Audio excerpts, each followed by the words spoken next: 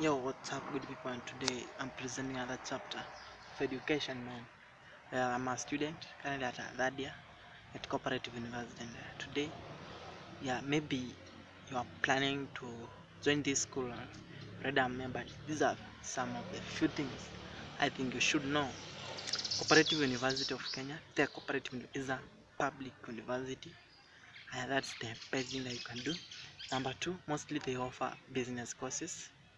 I think you should also know that. Number three, bad company can affect your education.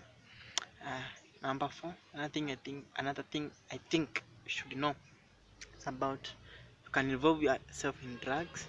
Another thing is that you should try as much as you can not to defer your studies that can also affect you.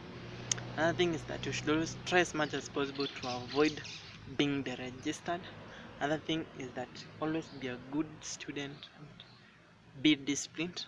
The thing I think you should do is that it's a good school as you can see.